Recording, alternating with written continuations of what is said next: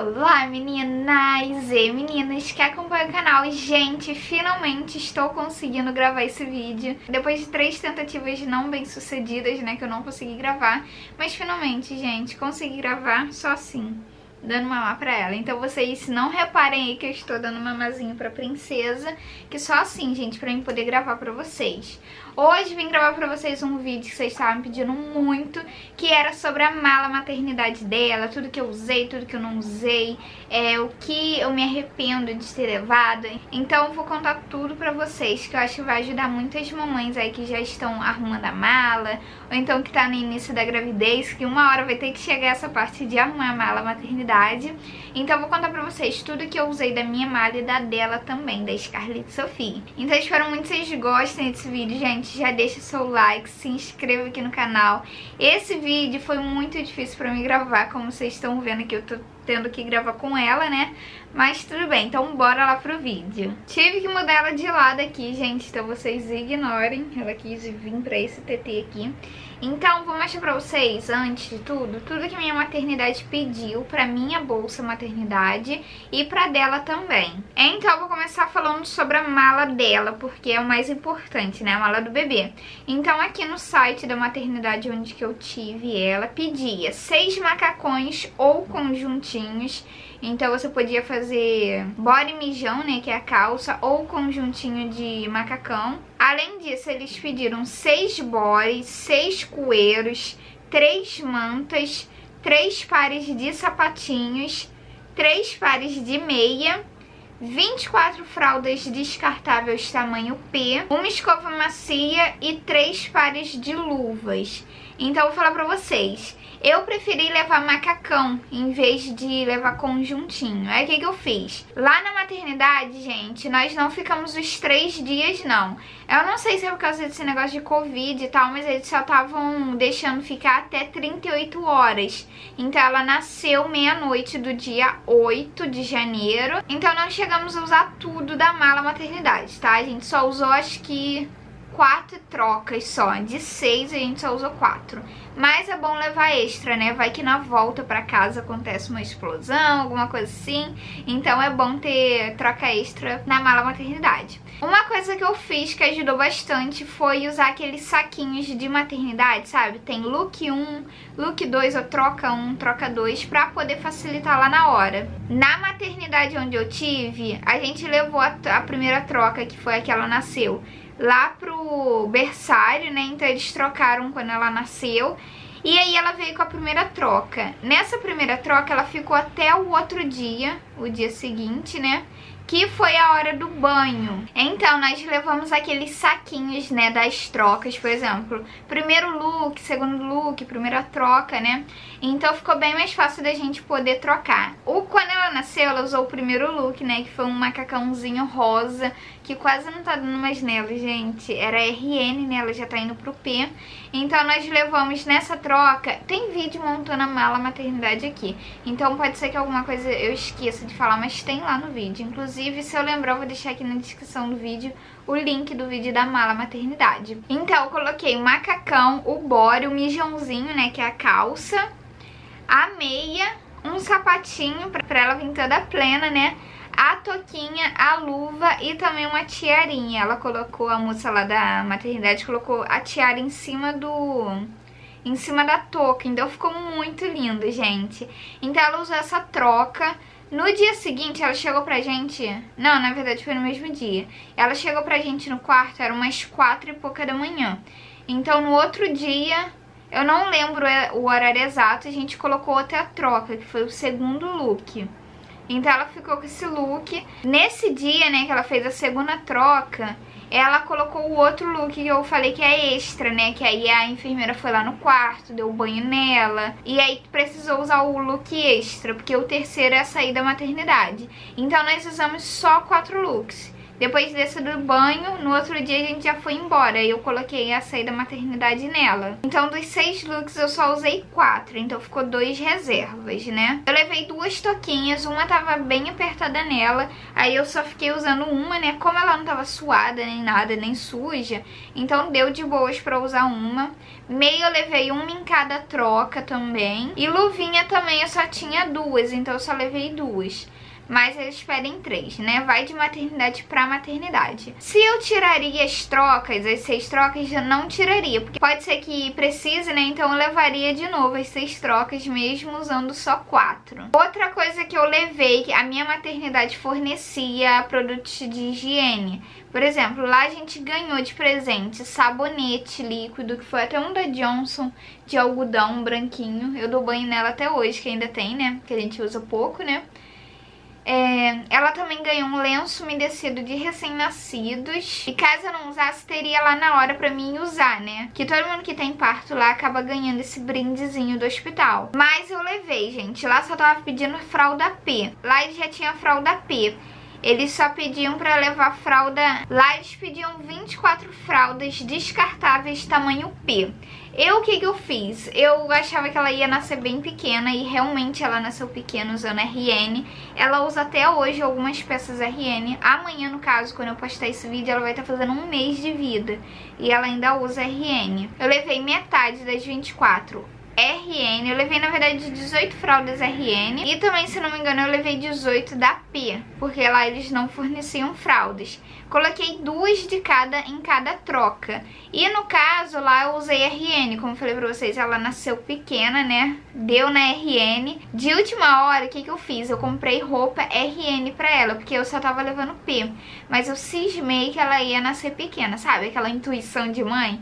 Então o que, que eu fiz? Nós fomos no shopping, eu comprei seis bodyzinhos somente RN. E tem até eles hoje, eu uso eles porque eles são RN que ainda estica, sabe? Então eu levei pra maternidade, tirei todos os P da... Tirei todos os P da mala maternidade dela e coloquei as coisinhas RN.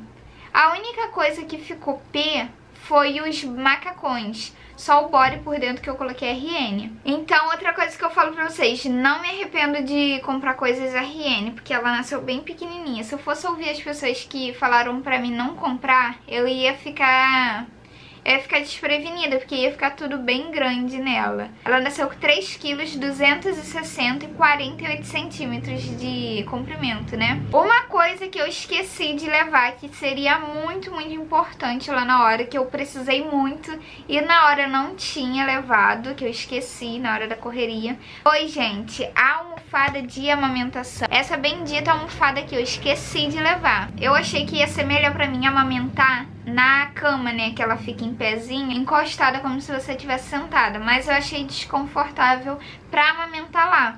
Então o que, que eu fiz? Eu preferi amamentar na poltrona de amamentação mesmo que tinha no quarto.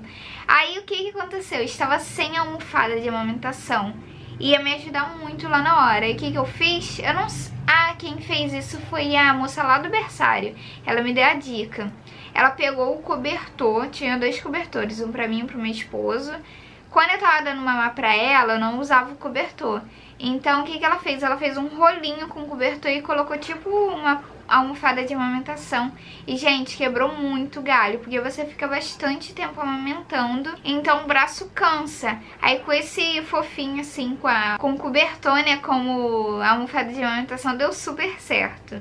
Mas, gente, não esqueçam de levar a almofada de amamentação, vocês usam bastante. Outra coisa que eu levei, na verdade eu nem levei isso tudo, porque eu já sabia que ia ser muito desnecessário levar essa quantidade toda de coeiro, gente. Eles pediram seis unidades de coeiro. E, gente, é muita coisa. O coeiro você não se suja, assim, a não ser que o bebê faça uma explosão no coeiro, né? Mas, normalmente, o coeiro é pra enrolar o bebê, fazer um charutinho nele, deixar bem apertadinho. E, gente, pra ser sincera, eu usei, acho que, três coeiros ou dois. Esse de cílios aqui e dois, outros dois lá. Eu não usei os seis e eu só levei realmente os três mesmo. Então, e nenhum dos três sujou. Eu realmente troquei pra tirar foto mesmo. Mas se eu levasse dois, eu iria usar somente os dois. Que na verdade eu levei três coeiros e duas cobertinhas. Uma pra sair da maternidade, junto com o lookzinho dela. E outro que eu usei todos os dias na maternidade, gente. Ela usa até hoje esse, essa mantinha, esse cobertorzinho, que é muito gostoso pra dormir. E lá é ar-condicionado, né? Então é friozinho. Então o dela foi praticamente isso. A escova eu usei pra pentear o cabelinho dela A luva só tinha duas, então revezei. Se vocês puderem, vocês levem mais luvas, porque como o bebê põe a mão na boca, acaba babando, então é bom ficar trocando. Só que como eu só tinha duas, uma até manchou. Eu não sei se era aquele... Sabe aquele remédio que ele é escuro, parece sangue? Ou se realmente foi sangue que pingou lá na roupinha e manchou. E como eu só tinha duas luvinhas, uma tava menorzinha, a outra tava direitinho, eu tive que usar repetida por causa do ar-condicionado e tal. Então dela foi isso. Lá eles forneceram algodão, forneceram álcool líquido, cotonete para limpar o umbigo e o coto umbilical. Então lá na minha maternidade eles forneceram isso tudo. Eu não precisei levar. E agora, gente, eu vou falar da minha mala maternidade, que eu usei pouquíssimas coisas do que eu levei. Então aqui eles pedem três camisolas, eu só usei dois, se não me engano, só pra realmente tirar foto. Senão eu iria até usar o mesmo. Porque falam que suja muito rápido em questão de vazar leite. Então suja a camisola. No meu não chegou a vazar leite. Então dava pra mim usar normalmente. Eu tomava meu banhozinho, ficava no quarto. Então não sujou ele. Eu só troquei mais pra poder tirar foto e não ficar com roupa repetida. Então de três eu só usei dois. Levei dois sutiãs de amamentação, mas eu não usei nenhum dos dois. Na camisola de amamentação ela abre assim pra amamentar.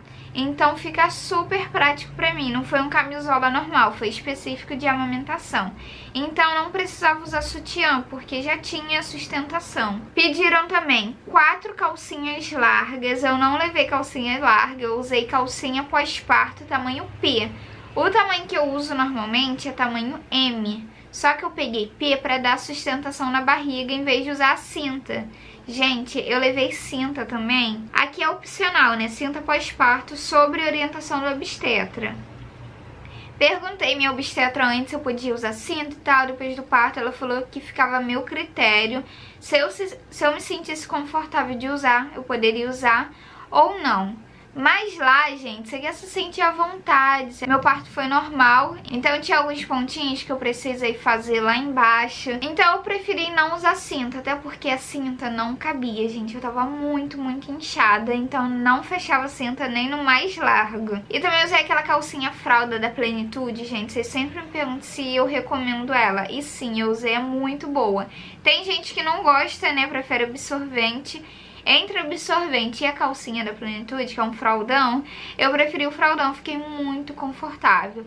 E, gente, se você usa tamanho M, não compra M, porque ela é muito pequena. Eu comprei G erradamente, né? Achei que eu tinha pego M e acabei pegando G. E, gente, coube certinho, ainda ficou um pouco justa.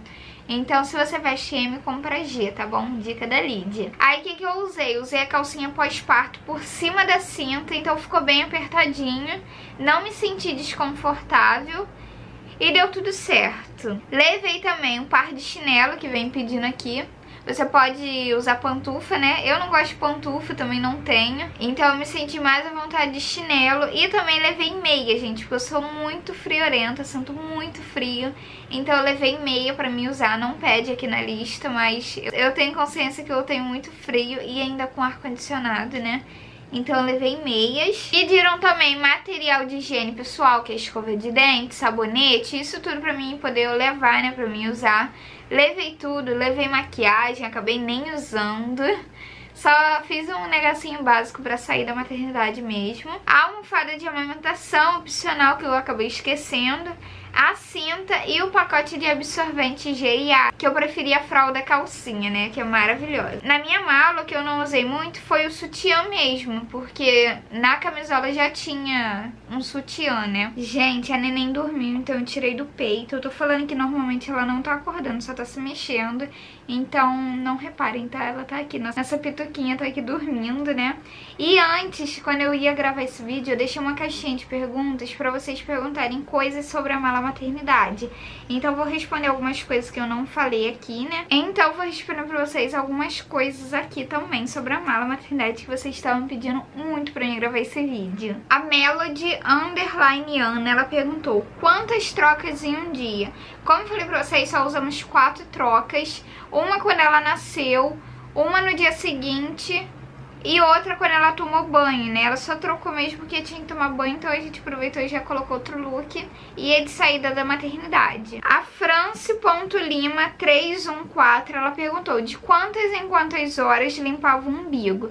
Então, eu tinha o costume de limpar a cada troca. Por exemplo, ela fez xixi ou cocô, eu ia trocar a fraldinha dela e já limpava o umbigo com álcool 70. O umbigo e o coto umbilical também. Ah, gente, uma coisa que a Evelyn tá perguntando e muita gente tá perguntando é sobre a mala maternidade. Eu comprei em uma loja aqui no Rio de Janeiro, inclusive eu comprei no site, mas eu entrei depois no site, eu não sei se esgotou, se saiu de se saiu do site, mas eu não achei mais.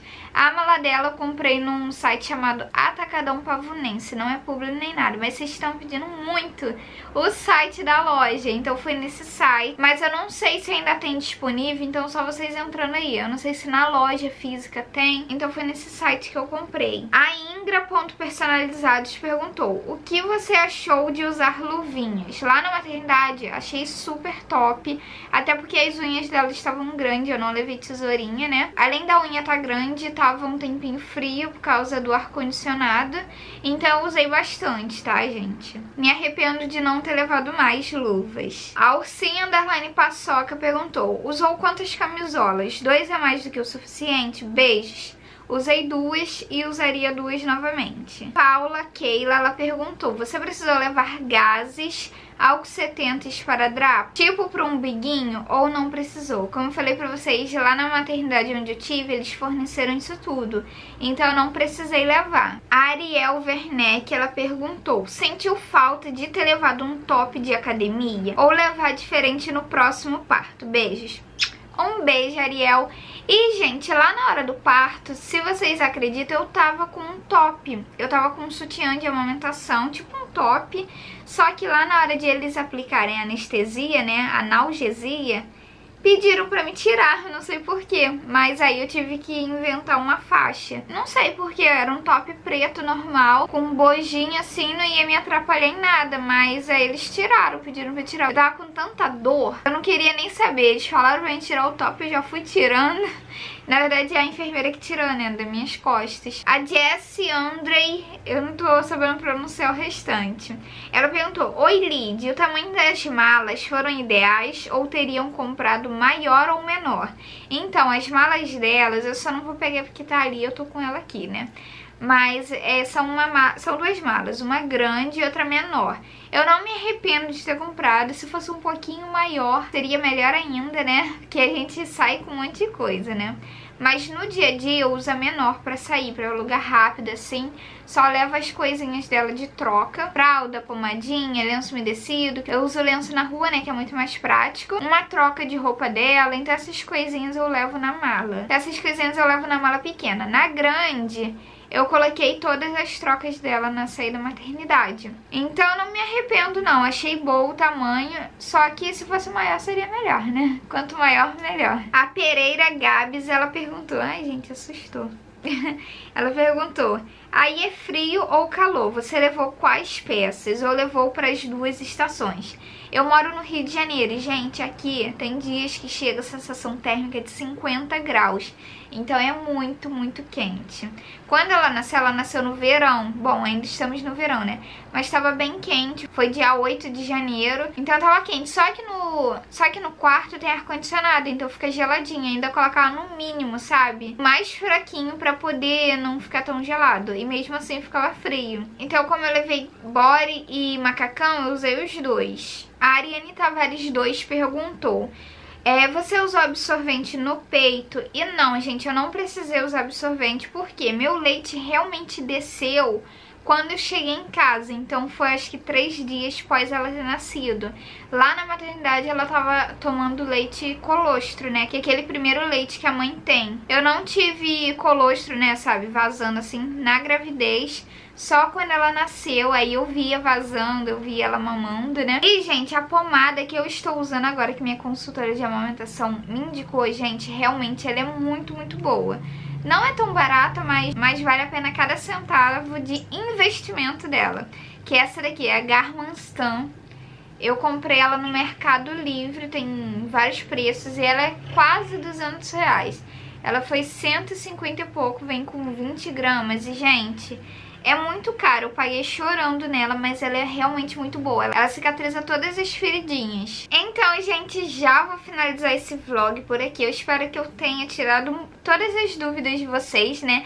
Eu, inclusive, deixei a caixinha pra caso tenha alguma dúvida que eu não tenha falado aqui no vlog, que eu não tenha falado aqui no vídeo, eu tirasse por fora, né, de vocês.